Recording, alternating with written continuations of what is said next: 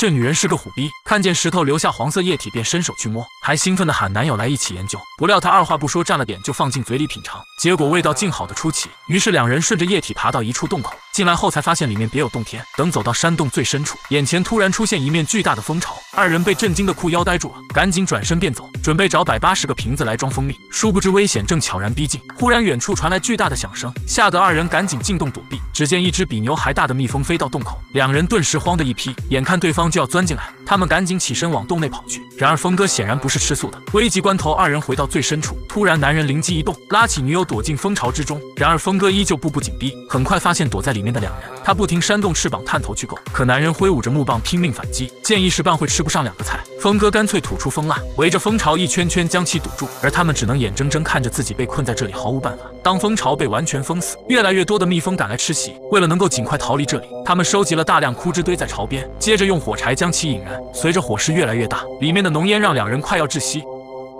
一男一女被牛一样大的蜜蜂困在巢穴，于是用火柴点燃枯枝，很快火焰融化蜂蜡。趁蜜蜂们不注意，他们从蜂巢后面逃了出来。与此同时，岛上几人正寻找伙伴，突然脚下大地剧烈摇晃，直接将二人掀翻在地。他们惊恐地发现，竟是只比卡车还大的螃蟹。两人吓得拔腿就跑，其中一人不小心摔倒，被赶来的螃蟹用钳子夹到了半空。另一人连忙过来帮忙，可惜螃蟹穿的是三级甲，普通长矛根本扎不透，几次正面硬刚依旧毫无卵用，还差点把自己搭进去。此时众人闻声赶来，拿起长矛与对方缠斗在一起，趁着同伴吸引对方注意，一人用绳子偷摸捆住蟹腿，接着使劲往后拉。可与如此巨物较量力气，几人终究还是差了点，没多久便败下阵来。眼看同伴即将被拖入大海，他们决定智取，一人拉紧绳子限制对方行动，其余几人使出吃奶的力气，猛地将螃蟹掀了个八脚朝天，成功救出被困之人。看着无法动弹的海鲜，两人一不做二不休，直接把他推进旁边二百度的温泉。没多久，诱人的香气就飘了出来。流落荒岛的几人终于吃上了一顿美味大餐。第二天，他们找到一座活火山，还有一大群山羊，正寻思做顿烤全羊来吃，却突然发现远处飘来一艘小船。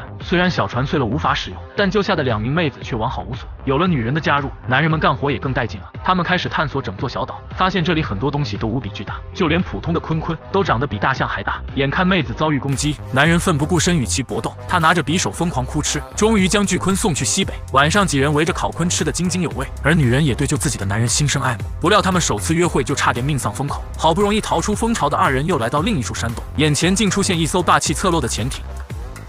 二人在洞穴里发现一艘潜艇，这里空无一人，船舱内的装潢相当豪华。想到或许可以利用这艘船离开小岛，他们赶紧回去告诉队友。殊不知一群海盗驾船来袭，几人刚躲进洞里，就被对方用大炮狂轰乱炸。眼看山洞就要塌方，船底突然发生爆炸，船员纷纷跌入海中，海盗船也瞬间沉没。懵逼的众人一脸懵逼。这时，一个奇怪的人走出海底，经过交流得知，此人正是岛屿的主人，潜艇也是他的，但由于故障无法启动。原本他一直在暗中观察几人，可还有三天火山就要爆发，到时候小岛将不复存在，所以他这才现身，希望集合大家的力量离开这里。原来他生活岛屿二十年，一直在研究动植物。为了让人类不愁吃喝，岛上巨大的蜜蜂、螃蟹和鲲鲲都是他的科研成果。只要把这些成果带回去，一定可以造福全人类。现在关键的问题是将炸掉的海盗船重新浮出水面，于是决定使用气球打捞船只。几人将所需工具放在竹筏上，再滑到海盗船上方。其余几人身穿海螺制作的潜水服，靠近轮船。不料途中竟被一只巨大的章鱼袭击。危急时刻，一人拿出岛主制造的电磁枪，哭哧一道动感光波击退了对方。等一切就绪后，他们回到竹筏，岛主开动机器向气球内充气。很快，海盗船浮出海面，但此时火山已经开始喷发，无数碎石掉进山洞，砸向潜艇。岛主不幸领了盒饭，连同他的科研成果葬身大海。